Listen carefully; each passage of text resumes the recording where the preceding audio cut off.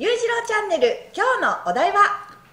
あなたのホームページが見られない理由です。ホームページ作っても見られないと意味がないですもんね。意味がない。意味がない全く、全くね、うん。まああのー最近よくそうホームページについての相談結構あるんだけど、はい。まあ、うちなんかホームページも作ってるけど、そうですね。だからまあそのねいろんな相談があって、まあ、どんなん作りたいですかって、はい。うん、ホームページいるんか？なそもそもだからまあこんな感じであんな感じでみたいな。あ見せてくるわけこう他のところの。ーはいはいはいはい。イメージをね。いやいや。同じの作っても意味ないじゃろみたいな、うんうんうんうん。まあ、みたいな話があるんでね、うん。でその時にいつも言うことが一緒でわしが。あの要は格好とかどうでもいいんじゃんみたいな。はいはい。売れてなんぼじゃろみたいな。うーんでもなんかこうやっぱりこうおしゃれでスタイリッシュでこうであでみたいなのが言うんよ。ええそこじゃないと。いやまあまあそこがなんかポンコツでなんか素人ザ素人みたいなのもうん。いけんけどじゃあめちゃくちゃかっこいいって全然検索しても出てこんのと、はい。めっちゃ素人みたいなのが作ったんだけどいつもトップに出てくる。あーまあ確かにこうクリックされる数が違いますよね。どっちがいいかいう話だよ、うんうんうんうん。まあだけどそんな感じのことをね、はい。今日はまああのホームページ作っても見られん人の理由も含めながらやってみたいと思いますので、今日はこのテーマでいってみよう。はいこんにちは板坂優城です。こんにちは土手かな子です。はいはい。じゃあまずは YouTube のあのチャンネル登録の方からお皆さんお願いします。あのコメントも最近すごいコメント増えてきたの知っとる？あちょっとこのスニッチは知らないです。見てもないんだよな いやでも久しぶりになんかお前がなんかコメント返しをしとることに対して、はい。わしが驚いたけコメント返しとるこいコメント返すんですよ。だから私はちゃんとこうまとめて。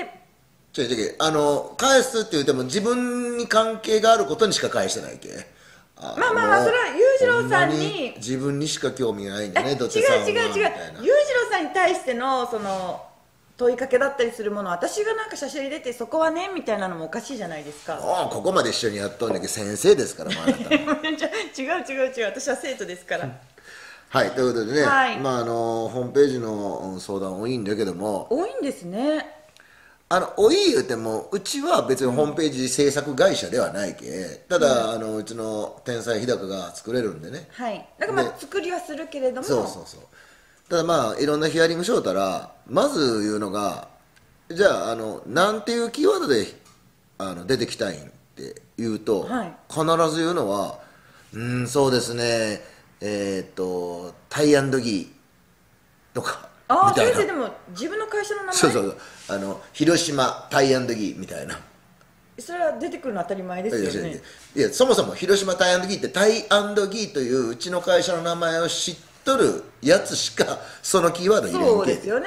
言うたら知っとるやつが何か調べるのに出るぐらいじゃ意味ないでしょみたいな、要は何が大事か言ったら、うん、自分の会社名じゃなくって自分の今一番こう悩んどることとかはい。で出ることが大事、そうですよね。でそういうふうに説明したら「うーんなんですかね」っていうわけよ。はいはいはい。はあみたいな。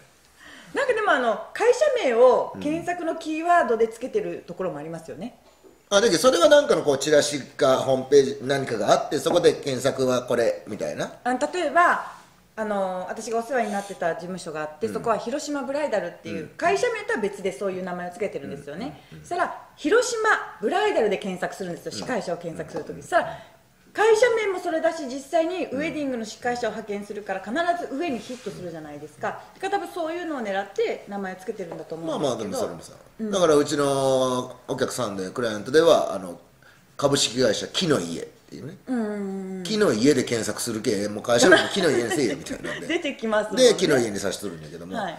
まあみたいな感じで、要はだけそのお客さんが何で一番検索するかいうことを考えとかんと、ホームページなんかまずどんな形をしてどんな色でどんなこうだどうでもいいそんな。はいはいはい、じゃあ仮に今一番お前が悩んどることは。今の悩みはプライベートでいいんですか？もうお肌これちょっと落ち着いてきたんですけどねあのお肌ってやった今この手見して。うその指がもうおばあさんの指になってる。待っってよ、そんなことないよほらほらいやいやあのあれよ。顔はなんとかごまかせても手のシワはねやっぱりもう。ほらちょっと最近ケアしてるんですよ。ちょっと右手こうやっとったらまだやでほらもうここのこの大軟関節とかがもうシワシワでからねやっぱり43の主婦は大変なんです。してないじゃんなんで。まあまあ肌がね、じゃあなん肌の何が一番？肌はそのマスクでのこのかぶれですね。あじゃあ何？肌汚いとかって検索するいや汚いじゃない。肌マスクあれとか。おお、うん。おマスクであれとるんだ。そうそうそうそう。とかなんか40代吹き出物とか。あそういうそれはもう手遅れですって出るんや 出ない出ない。やっぱ同じような悩みを抱えてる人たちがやっぱりブログを書いてたりとえか40代何？吹き出物。ああそんなんで入れるんだ。うん。ちょっと入れてみようか、うん。40代。吹き出物？うん。大人ニキビとかね。40代吹き出物ってやるとニキビでお悩みの40代以上の方。おおジョイが教える吹き出物の原因、これなんかちょっと押したいの。そういうの。ジョイが教えるっていう、うんうんうんうん。あと他にもありますか？あとはね。え基本的にそれは広告がいや広告じゃないの今言うホームページですよね吹き出物ができる原因とは？パーツ別の対策方法。たいだから結局吹き出物も出る場所によって違うから知りたいですよね、であのーそれでやったら画像検索で画像もいっぱい出てくるっていう。はいはいはいちょっとお前の画像もここにアップしてて やめてよ。へえねだから今みたいに、こうあのーそのキーワードを入れて引きおるわけよ、はいはい。な例えばわしがその40代以上のその吹き出物専門のなんか化粧品を売りおる会社としようや。えでそこで、えー広島タイムギーって引っ張るのは知っとるやつだけじゃないか。えそうですよね、うん、うんだったらやっぱり40代吹き出物とかそういうそういうキーワードがある何個かあるわけじゃん,、だからその何個かのそのキーワードで出てこんかったらないのと一緒なんや。まあそうですね。引っかからないから。例えばそれで言ったらうーん10ページ目ぐらいにでなったら出ますとか言ったらいいんでしょ。うん。自分で何回も何回も検索してちょっと上げ上げていかないといけない。いやそれも地道すぎてから まあ要はねあのうーん釣りたい魚が決まってないけ、だから釣れんのんだと思うよ、例えばあのー川で釣りをするはい。道具を持って、ええ。川釣りの餌で、海出てタイ釣るんじゃいってから言うても釣れんけそりゃ。まあそうですよね、で大概ね間違っとるのは、うん、釣り行くんだったらやっぱりこういうか高級な服着てとか今日なんガマカツとかうるさいよ。ね。であの竿もすごいのやってリールもすごいの買ってって、まあ、超一流買うんだけども全然仕掛けが違うとか、はいはいはい、はい、餌が違う、みたいな感じで釣りに出かけていきよるわけよ、はい。でそれも行くのも船ドーン出して、で女の子もいっぱい連れて「行くさ」みたいな。こうやって。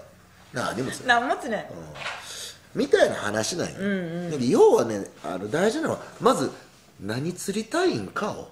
あそのターゲットをちゃんとそうそうそう。自分で調べて絞る。だから40代がマスクをして吹き出物ができて悩んどるっていうんだったらもうそこピンポイントじゃろ。そうですよね。マスクん40代マスク。マスク肌荒れ。あマスク肌あれね、うん。じゃあちょっとさっきのはあの40代吹き出物じゃん？うん、幅が広かったです。ちょ,、ちょっともう狭めて。40代マスク肌荒れ。ってやるとうん。マスクやっぱマスク荒れとかっていうキあーワードがいっぱい出る、そうですね、マスクトラブルとか。そうね。まあこういうのをやると大体おまとめサイトみたいなのがどうしても出てくるんよ。うんうんうん。うん。でもそこにやっぱりピンポイントでおーっていうのが出てくるとやっぱり見たくなるよね。そうですね、なんかでも急に宣伝っぽいホームページとかだと、もう全く見たくないですよあね。あなるほどね。結局この商品を売りたいのかなみたいなのが分かりすぎると。ああ今のすごい大事なことで、タイトルで、えーあこれ売りにかかるんだろうねみたいな、じゃなくて本当にもう困っとる人のために書いてます、みたいな。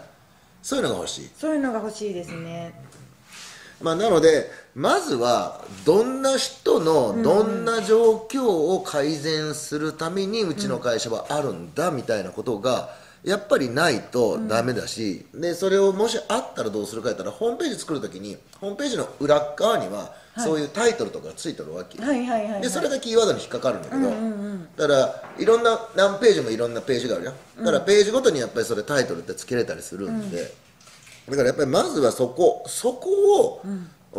決めることが一番大事よ。はいはいうんうん、だったら結局は何かやったらホームページも何もかもそうやけどビジネスとは困っとる人の負の解決をする人にお金が落ちるわけや。そういうことですね。お前が今肌荒れマスク肌荒れでもう悩んでそどれぐらい経つ？もうこの3か月ぐらいですかね。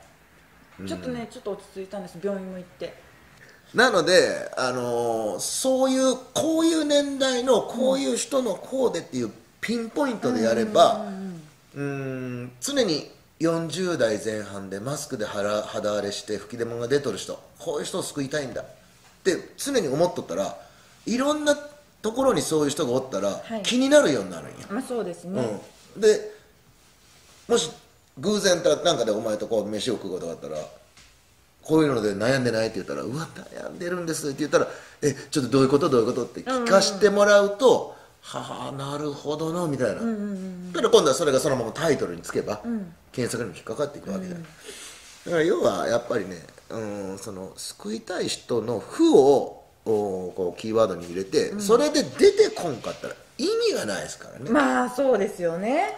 だからこれね今このホームページあこの YouTube 見とる人で、やってみたらいいと思う。よ自自分の会社のホームページがあの社名とか商品名とかじゃなくて。いそれを入れずに。そうそう。あのその悩んどる負を要は悩みを解決したくてググっとるわけじゃん、ね、だから悩みの解決を入れて Q, Q を入れたのクエスチョンを入れて、出てくるタイトルはアンサーで出てこんといけんわけや、はいはいはいはい、ね、私はこんなことで悩んでます。なんかないですか？って言ったらこういっぱい出てくるわけじゃん,、でそれがじゃああなたにはこの商品がいいですって出ると、それちょっと売りっぽいけ？そうですね。ああ分かりますよ。私もそれで悩んだ口ですから、みたいなでもこの方法で劇的に改善しました、い。みたいにこう来ると、え。え私と同じ悩みを持っとった人が改善したの？みたいな、うんうんうんうんみたいなことが出てくるわけや。そうですよね。だから皆さんもちょっとねやってみたらいい。検索を、ん。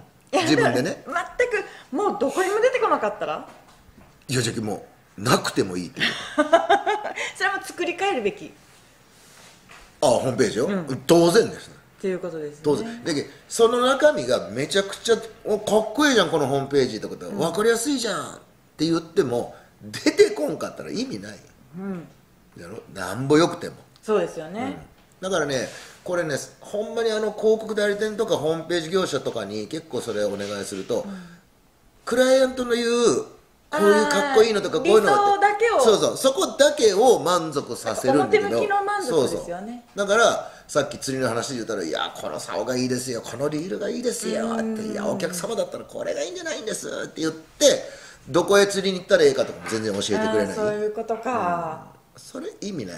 はいだからまずねまず入れてみたらいいと思うんだけども、まず入れるキーワードをなんて入れたらいいんだろうって思うはずなんよ時点ででもこの時点でアウトアウトってことですね、うんだからそれをまあしっかり絞った上で、ホームページを作るんなら作らないといけないっていうことだから今のさっきのこいつが言ったあの40代マスク肌荒れとかヨールンでもうんそうじゃね40代からのうん基礎化粧品とかっていうのを売っとる人だったら、そこで基礎化粧品とかってやってしまうと絶対出てこんのよ、うんだからそれをもっと細分化してやっていかなきゃいけない。そうですね。